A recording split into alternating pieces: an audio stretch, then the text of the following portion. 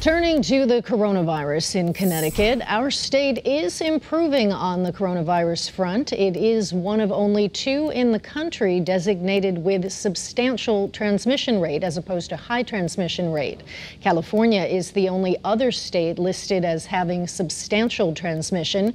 Puerto Rico is shown in yellow as moderate, but there are still two counties here in Connecticut with a high level of community spread. Channel 3 Eyewitness News reporter Shante Passmore is taking a look at some of the driving factors of why that is. Shante, which are the counties that public health officials are so worried about? Patricia, Windham and New London counties are in the red, but data shows the rest of the state is not out of the woods just yet, meaning the other six counties are still showing a substantial level of COVID-19 transmission. The fight against COVID 19 is a long one, as the CDC reports just over half of Americans are fully vaccinated. In Connecticut, the number is much higher at 79%. Tonight, numbers show the state's transmission levels are decreasing after the federal agency labeled the entire state as a COVID 19 hotspot in August. A current map shows where the state now stands, with orange representing substantial spread. Red shows two counties remain in the high level. It's definitely not good news. The downgrade is far from a victory lap, says University of New Haven's Dr. Anthony Santella. Given where we are right now in October, there's no reason why someone should not be vaccinated.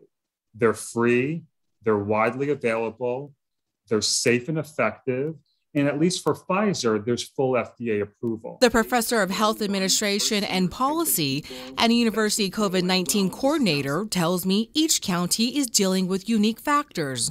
Windham's county's vaccination rate is at 56%, the lowest in the state. In New London County, vaccination is higher at 69.5%. While some counties' rate trails New London's, Ledge Light Health District shows a spike in cases are in New London and Groton. On Facebook, it wrote it's happy to see a decrease in new COVID 19 cases, but it is imperative that we remain diligent in our mitigation strategies.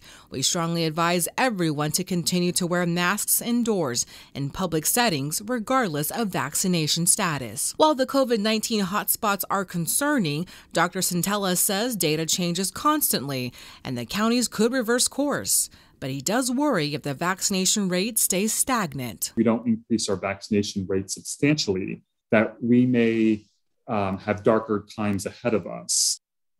And the takeaway, while we're months into the vaccine rollout, the reason why we still have COVID 19 hotspots is because of what Dr. Santella calls mediocre vaccination rates. Also, he says poor compliance with social distancing and masking are playing a role as well. Live in the newsroom tonight, Shante Passmore, Channel 3 Eyewitness News.